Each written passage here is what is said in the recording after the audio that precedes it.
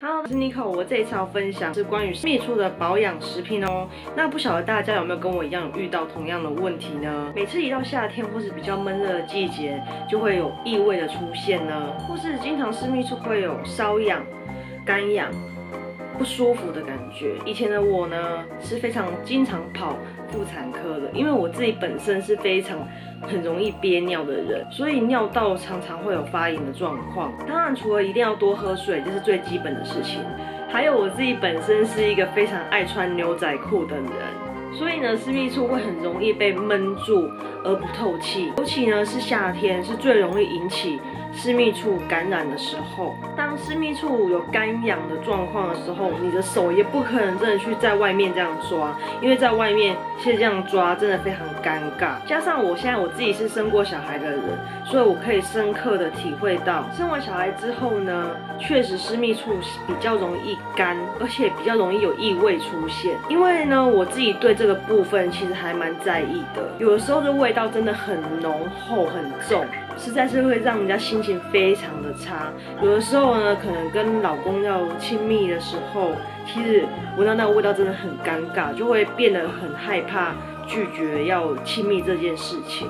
尤其是脱下内裤的那个时候，就算是洗过澡，也会很担心说会不会有闻到那种淡淡的味道。当然，私密处保养有很多种，像可能市面上有贩售那种私密处清洁液。那个也是可以使用，但是也要每一每一个项目要去真的去使用过，你才会知道说适不适合自己。那现在市面上比较火红，就是用喷的喷雾式的，可是我觉得有一些还是湿气比较重，它没有办法说整个让私密处很干爽，所以呢，我还是建议是用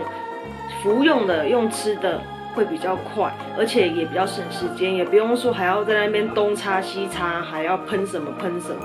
这个部分都是完全可以省略掉。那我自己个人呢，是真的非常高兴可以接触到 New Class 的私密香软胶囊，我真的只能说相见恨晚。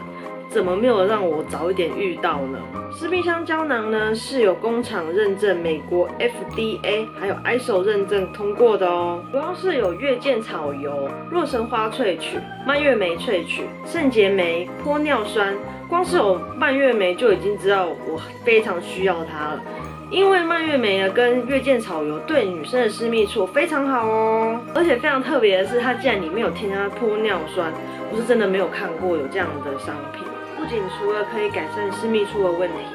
也可以让私密处变得更保湿、更紧实哦。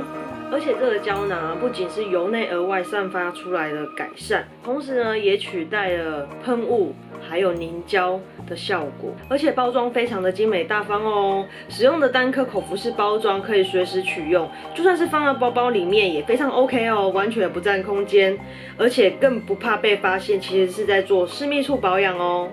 使用方式也非常的简单哦，只要每天的睡前服用一颗就可以了。那如果你想要加强保养的话，就是早上一颗，睡前一颗。而且呢，你就是搭配水跟果汁都可以饮用，没有说特别有限定说你只能喝温开水或冷水。但是要特别注意的是，这一款胶囊的话是孕妇跟哺乳者。不可以服用的哦。那我刚刚有提到，我自己本身就是私密处会比较容易干痒，会有恶臭的问题。那我自己使用的话，是一个礼拜我都是使用加强保养的方式，就是早上一颗跟晚上一颗。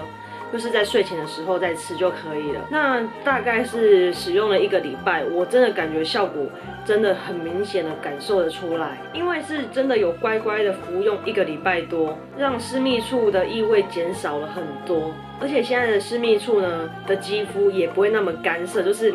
干巴巴的，完全都没有什么任何的水分的那种感觉，但是水分也不是说那种分泌物湿湿的湿润的那一种哦。其实说到这个，我是觉得还蛮害羞的，